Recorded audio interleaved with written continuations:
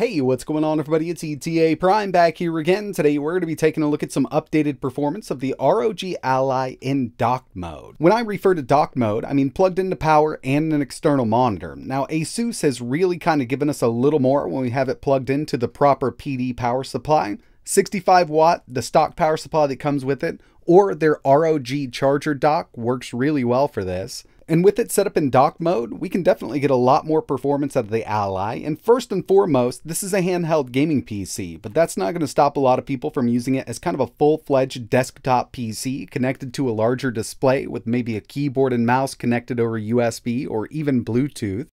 And one of my favorite accessories right now is the ROG charger dock. We've got HDMI, USB 2.0, and USB Type-C power out. This will do 65 watts, plus it'll send that video signal over USB Type-C to the HDMI built into this little charger dock. And it looks something like this once it's all connected. So basically, we've got this plugged into a wall outlet, USB Type-C to the USB Type-C port on the Ally, and HDMI to your favorite display. You can connect a keyboard and mouse, or if you want to connect a controller, it's really up to you. And you know, I've done a video on this when it was first released, but the performance overall with the Ally itself has definitely been upgraded given all of the driver updates that Asus and AMD have done for this Ryzen Extreme Z1 chip. And speaking of updates, I'm actually making this video on July 5th. I think it's going to be released on July 6th, but today we just got a really nice BIOS update and an Armoury Crate SE update from Asus. If you're interested in checking out their full change log, I'll leave a link in the description. But uh, some UX improvements have been done. We've now got a new modified FPS limiter, so 30, 45, 60, 90, and 120, plus we can turn it off.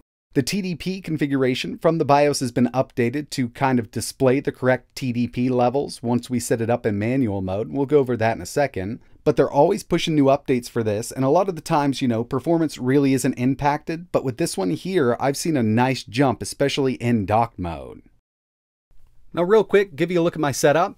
Basically, I've got the uh, charger dock plugged into the Ally using an Xbox controller connected over Bluetooth, and I've got a keyboard and mouse plugged into that free USB 2.0 port on the dock itself. This is just in a cheap little stand that I picked up on Amazon. You can get this for the Steam Deck or even an Android phone. Ally fits right in here. We've got a full-blown desktop setup now. You could use this for work, you could use it for school, but you know, the main thing that I want to do is some gaming on this, and I have created one more video when this initially released, showing off some 1440p and 4K gaming on this. We've got Skyrim 4K low, and since then we can actually go up to medium 4K on this device, run it right there at 60, which is really impressive for an iGPU, but this is an older game. Either way, still pretty impressive in my opinion, but what I'm going to do now is just plug this into my game capture so we can get a better look at everything. And I want to show you what to do to get that TDP up and a couple little tweaks that I've done here. Alright, so here it is, plugged in with that ROG charger dock, that way I can get a full 65 watt boost on this thing. As you can see, we've got that Ryzen Z1 Extreme, 16 gigs of 6400 DDR5, and of course, the built-in Radeon RDNA 3 graphics, basically 780M, runs it up to 2700 megahertz. Asus has put out a ton of updates here since uh, the launch, and this was one of the big reasons I wanted to come back and test this because uh, we do have a significant bump in performance kind of across the board. There are a couple little tweaks that I've done here, but the main thing, you know, when you're running in docked mode, we do not have to worry about battery life. So from operating mode, we're in manual mode, and we're set up to 53 watts. So this is kind of our maximum boost here, but this is around 42 right across the board while we're gaming if the game needs to pull that much. So we can basically get a steady 42 watts out of this thing. And if you were worried about, you know, uh, heat or anything like that, we've got a fan curve on both of these fans that you can fully adjust. So while I'm in dock mode, always in manual, want to get the most out of this thing. And there was one other thing that I did here, which actually seemed to increase performance in a lot of games. Core isolation from the Windows settings. Microsoft does suggest turning this off for better gaming performance, and in some cases, for instance, Cyberpunk 2077, I got a 9 FPS boost just by turning this off. And remember, a lot of it will be coming down to running this at such a high wattage. But uh, last thing here, I've got our wattage over here, and I use Core Temp because it's just easy to bring up. I've got CPU Z, and we'll just stress it out. You'll see jumps up to 52, but it'll slowly creep back down to around 42. So right there, we can do 42 watts on this APU while we're gaming, and it really does make a huge difference. Before we jump into some game testing, I did want to show you a few benchmarks that I ran on this unit. First up, we've got 3D Mark Night Raid coming in with a 29,266. Firestrike 7,556, which is really great for an APU and integrated graphics. And finally, we've got TimeSpy with a 3,162. So we're not far off from the 3GB GTX 1060 with this 780M iGPU in the ROG Ally. Moving over to some real world gaming. First up, we've got Horizon Zero Dawn 1080p medium FSR set to balanced. We're getting an average of 73 FPS with this one, and uh, this is just a very well optimized game. No matter where you are, you will get over 60 on this Ally, especially at this kind of wattage. And if you take a look at Afterburner, you'll see we're right there at 42 watts. And what this allows it to do is, you know, send enough wattage to the iGPU and the CPU to get those clocks on up there. Next up, we've got Diablo 4 720p medium. Now, when this was first released, we had to go to all low settings. We're up to medium now, and you can see that we're over 90 FPS. This will run at 900p, but when there's a lot of NPCs on screen, it does drop into the mid 50s. Every once in a while, I kind of wanted to alleviate this, so I just went down to 720. Not bad, and it still looks great.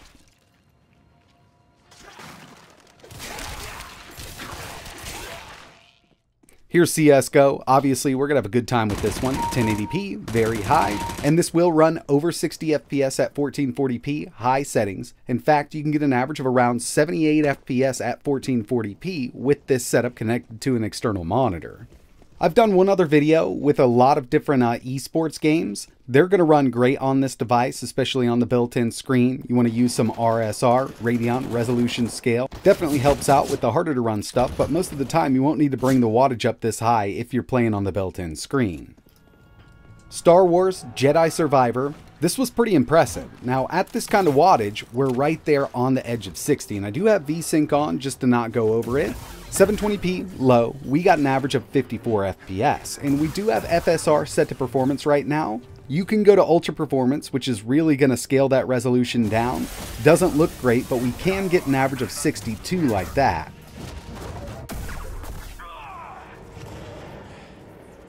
Not today. Dirt 5, 900p, low settings. We could take this up to around medium and still get a nice constant 60 with VSync turned on but of course I wanted to keep it unlocked here. And even though we're at 900p, we do have the built-in dynamic resolution scale turned on in the game. I probably should have disabled it because it does look a bit lower than 900p, but either way, I mean, it's still a very playable game.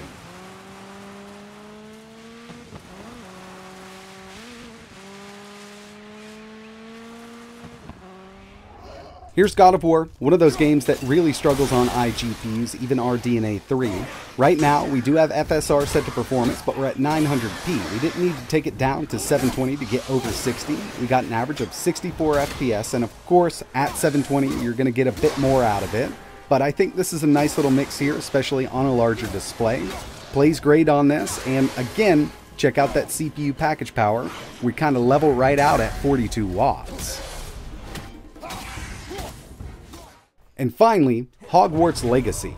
This one here did much better than I thought it would, but there have been some updates to the game. So we're at 720p low, which isn't the highest resolution, but if you ever tried this on, let's say, the Steam Deck or even the ROG Ally when it was kind of first released, you know, it was really hard to even run over 60 at these kind of settings. But now, with all of the updates to the game and the updated AMD drivers, we're getting an average of 83 FPS with Hogwarts Legacy in dock mode on the Ally. So yeah, I mean, it's totally possible to use your Ally as a full-fledged desktop PC, and if you're interested in checking out some games running at 1440p and even 4K, I've got another video, but this one was just a little bit different. Kind of wanted to show you what we could do at 1080, because when it comes down to it, we are working with a pretty powerful APU, but in the end, it's still integrated graphics. And you know, if you're just kind of not on the go and you wanted to connect this to a larger display, up that TDP, get a bit better performance out of it, you can definitely do it. If you've got any questions or if there's anything else you want to see running on the Ally, just let me know in the comments below. And if you want to pick up the uh, ROG charger dock, link for that is in the description. But that's it for this one. Like always, thanks for watching.